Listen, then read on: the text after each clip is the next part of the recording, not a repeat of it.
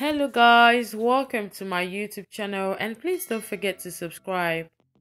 Dylan Wang and Shen Yue rumored engagement spark online frenzy.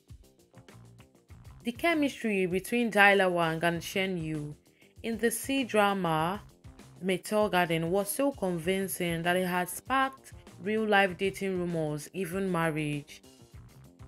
Netizens were sent into frenzy with rumors that Dylan Wang and Shen Yue had secretly become engaged and were planning their wedding.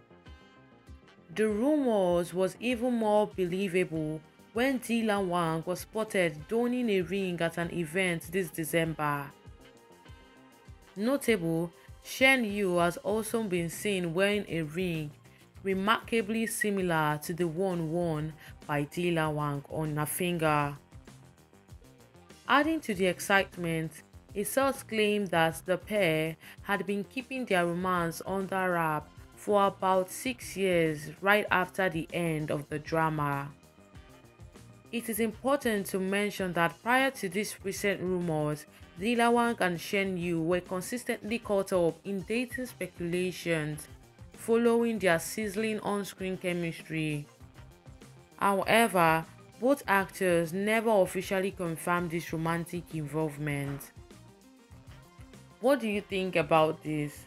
Thank you guys for watching and please don't forget to subscribe, like, share, click on the post notification to get notified whenever I drop a new video. I love you all.